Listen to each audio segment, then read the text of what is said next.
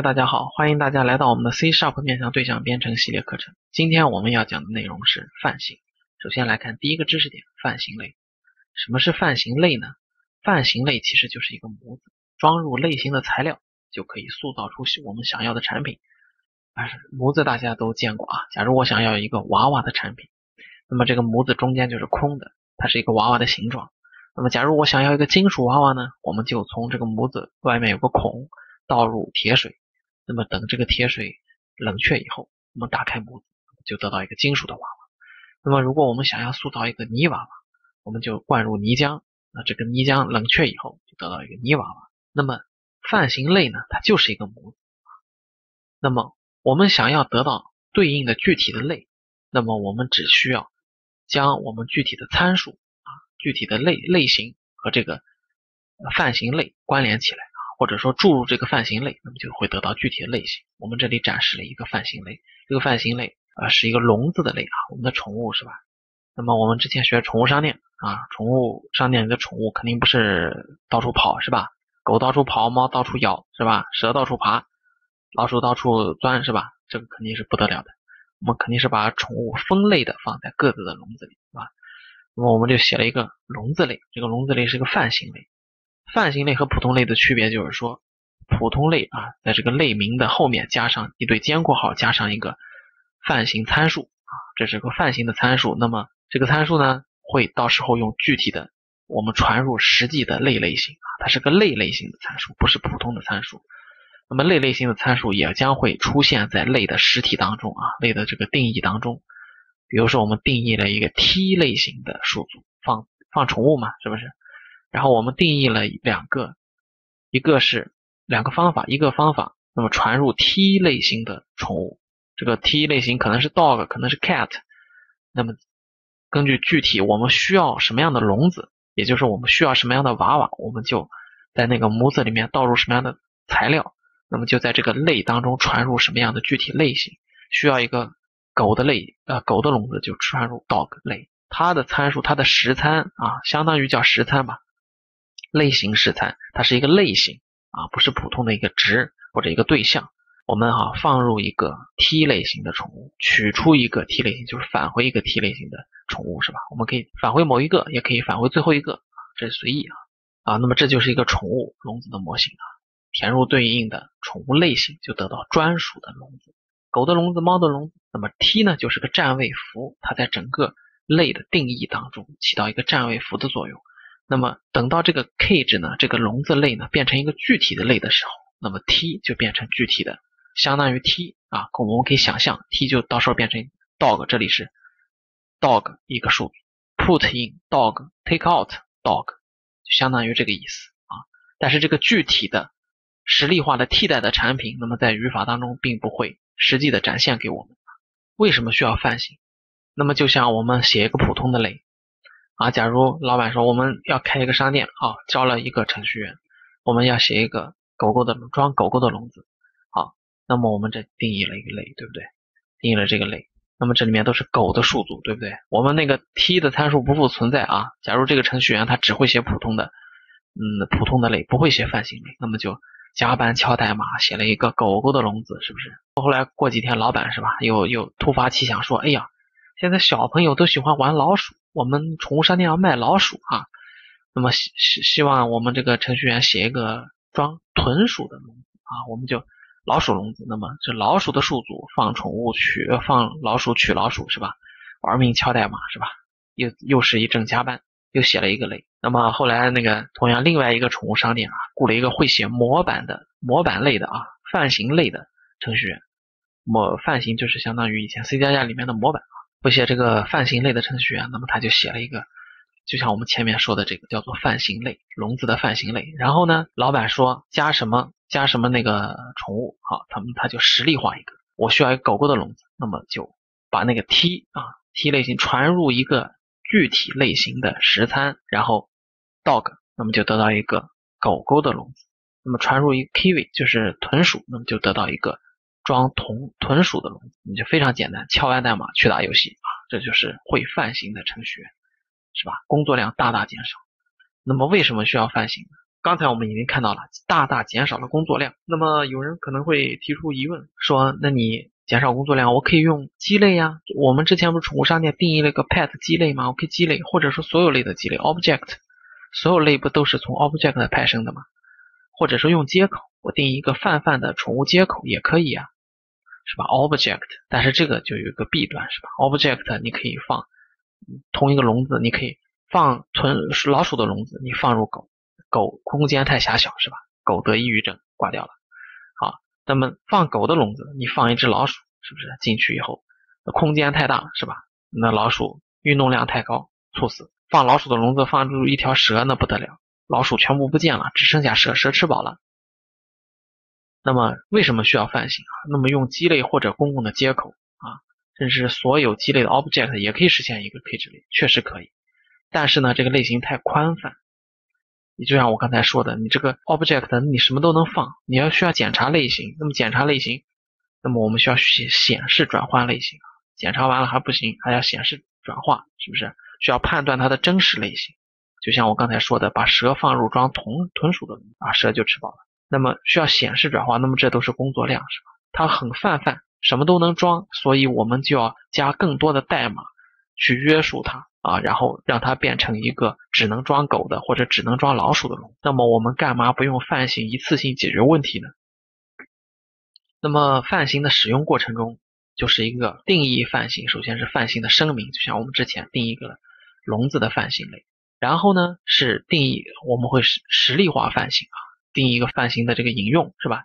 那么把它具体化，定一个这个装狗的笼子的引用，然后实例化一个狗的笼子。那么这个时候，这个 cage t 它不是一个类型，它是一个模板，它是一个模子，它不是一个产品。那么 cage dog 它就是一个类型了，它就是个产品了啊，它就是个装狗的笼子啊。那么这就是定义一个装狗的笼子这个类型的一个真实的笼子，创建一个笼子，创建一个装狗狗的笼子啊。那么这就构造实例。那么当我们需要什么实例，它就会构造什么实例。假如我想放猫是吧？那就装猫的笼。那么这装老鼠，那么就装老鼠的笼。啊，你想定义什么就定义什么。然后呢，我们看一下泛型类的优势。其实我们前面说过了，首先不用加班敲代码了，代码量很小了。那么当我们宠物商店是吧，规模越来越大，生意越来越好，从卖狗卖老鼠变成卖十几种宠物是吧？我们只需要一个实现，然后只需要若干行的实例化就搞定啊，不需要每种笼子都写一份几乎啊大同小异的代码，大大减少我们的工作量。那么只需要只有需要的类型才会被实例化。那么假如经济又不好了，经济大萧条了，是吧？我们由卖十几种宠物变成只卖狗狗了。那么我们没有实例化的那些代码，那么将啊不会，那么在我们的程序中应用程序中产生一个备份，是吧？产生一个类的定义。假如我们不用泛型，那么我们写十几种宠物的定义啊，你只能一个挨个注释掉，那是没办法。但是我们写呃模板类啊，写这个泛型类的话，那么我们。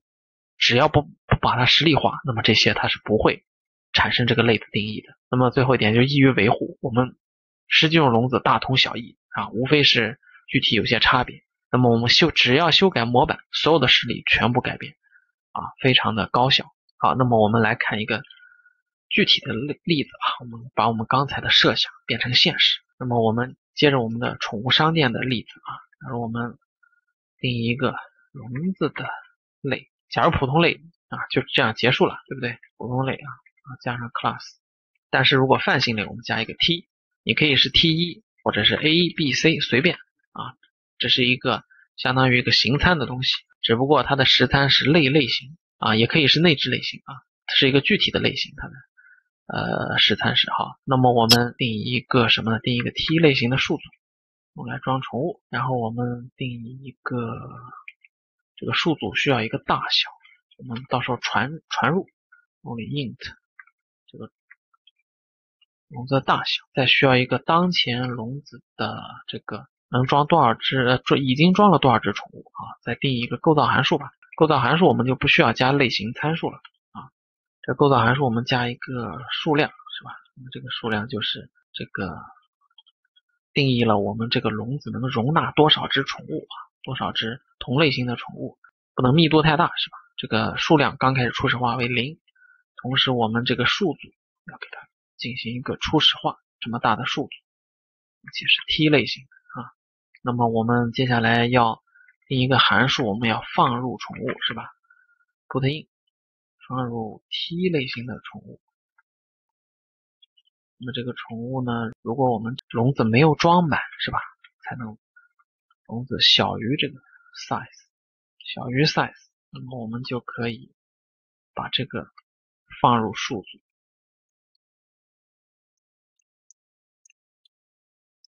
好，然后如果装满了，我们就打印一句话吧。打印一句话，cage is full，是吧？笼子已经满了。好，那么我们能装还要能取，取呢，我们就是 take out，取出一个 T 类型的宠物。具体是什么宠物，需要我们这个类模板变成具体的类，那么就是实例化的过程的时候，我们就直接取出最后一只吧。啊当这个有宠物的时候，没宠物你取不出来。Else 是吧？好，那么我们就取出看这个 array。